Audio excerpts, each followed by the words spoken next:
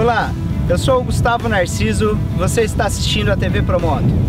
Eu tive a oportunidade de testar durante 15 dias a KTM 1290 Super Adventure S.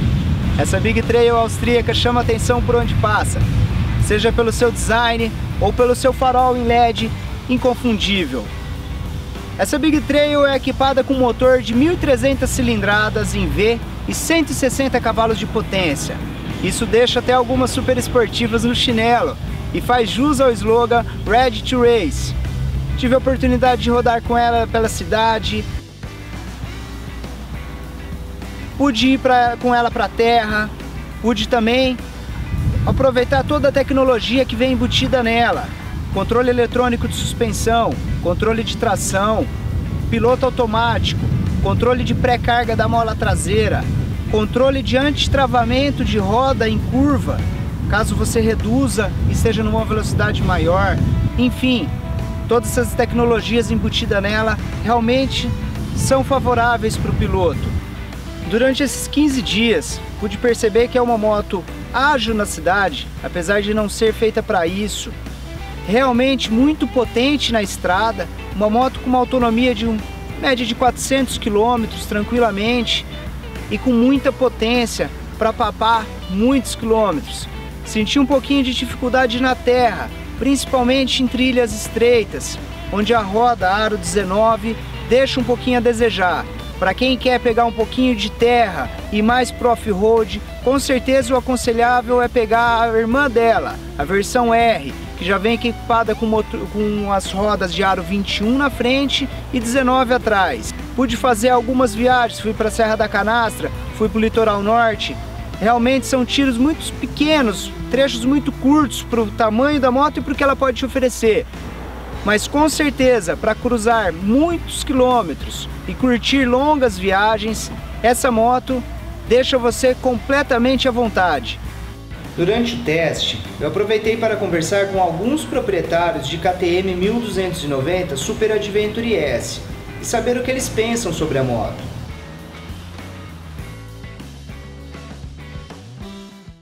Meu nome é Alfredo Figueiredo, eu sou motociclista. É difícil até lembrar quando eu comecei, eu tô com 49 anos, há uns, uns 40 anos. Eu, eu sempre falo que eu, eu, tive a, a, eu tive uma moto concorrente e sempre tive as, as KTMs, que são o meu, meu, meu prazer mesmo. Eu acho que, que a moto tem que vestir aquele o, o usuário. Ela é mais esperta, ela é, ela é mais versátil. A outra moto que eu tive é ótima também, só que ela não veste como me veste a KTM. Eu comecei, quando apareceu a KTM, foi aqui no Brasil, acho que foi 2005. E a hora que eu vi aquela amarelona lá, aquela laranjona, aí eu peguei logo a, a 950 carburada. E a partir daí nunca mais saí de cima dela, daí foram mais quatro motos 990, Adventure também. E agora cheguei nessa 1290 que aí é só risada. Eu tenho um filho uh, jovem de 22 anos que também anda de moto, o nosso lema é diversão. A moto é prazer. Então, locomoção, às vezes, eu, eu tenho um spa em Cabriúva, no, no, no pé da Serra do Japi, um lugar lindo, que às vezes eu venho de moto para passear. Aproveitar a moto para ter prazer. Esse para mim é o meu lema. A moto sempre foi muito boa, 990, 950. Agora chegou num ponto que não tem mais como discutir o potencial dessa moto. Ela serve para todos os perfis. A, a, tecnologia dela é impressionante, você não consegue cair dela. Ela honra o nome Super Adventure mesmo. É uma moto que embaixo de você tem uma, um brinquedo versátil. Você pode ir para todos os lugares. Há dois, três finais de semana atrás, em um dia e meio a gente andou 850 quilômetros, é, Serra de Cunha, lugares mais difíceis, mais fáceis, e ela atropela todas as situações, dando muito prazer. O que só um cliente KTM tem é a exclusividade de ter o melhor produto do mercado.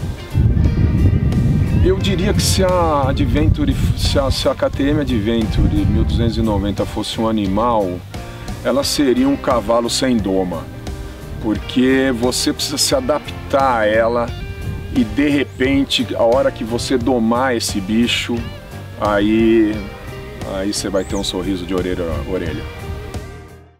É, meu nome é Eduardo, é, sou engenheiro mecânico de profissão. Eu tive motos as mais variadas possíveis. Né? E ao longo dos anos eu é, fui chegando à conclusão que a moto mais universal, vamos chamar assim, é, são as Big Trail, porque te permitem é, andar muito bem no asfalto e também te permitem andar na terra. Esta KTM é uma 1290 Adventure S, que difere um pouco da R, é, em que as rodas, estas rodas são de liga leve, as outras é uma roda raiada, que nem esta, aro 21 essa aqui, 19 esta aqui. É, a R é uma moto mais apropriada para andar na terra do que esta. Eu prefiro esta moto que tem um pneu mais apropriado para o asfalto do que a R, que é um pneu mais parecido com este. Tem uma roda muito mais leve do que a roda raiada e tem uma suspensão eletrônica que você ajusta em 15 segundos antes de você entrar numa trilha ou antes de você entrar no asfalto. Você ajusta a moto. O design eu acho, eu acho bonita, diferente, é, este farol que é, é dessa forma tão estranha, né? Mas extremamente eficiente, porque é LED e estas lâmpadas vão acendendo em função da inclinação da moto, o que é extremamente útil à noite. Então o sistema de iluminação desta moto é perfeito. O aerodinâmica eu acho que é perfeitamente é, é, é, muito boa. Você levanta este, você tem a possibilidade de levantar esta tela, é, esse, né? e você pode levantar. Isso melhora ainda mais. As KTMs têm uma característica que eu acho interessante, é, que começou já com essa, que é jogar ao máximo possível o, o centro de gravidade para baixo. Então, como que eles fazem isso? Com os tanques, é, que a gasolina está até aqui, o nível de gasolina, ou seja, começa aqui o tanque. Toda essa parte aqui é cheia de gasolina. Neste caso, é a mesma coisa. Isso faz com que o centro de gravidade da moto fique mais baixo e fica com um sentimento de que ela é muito mais leve daquilo que ela realmente é. Tá? Tem uma eletrônica que te permite confiar muito é, é, nas curvas, você pode até frear nas curvas que tem um ABS específico que não deixa travar a roda na curva. Então são todas coisas que estão ao teu favor. A escolha de uma moto se dá para mim por dois motivos. Você escolhe a moto e escolhe o clube ao, quem, ao qual você vai pertencer. E KTM também é um outro clube. São pessoas que a maioria que já andou na terra com não com essas motos grandes, mas com outras KTMs ou com outras motos.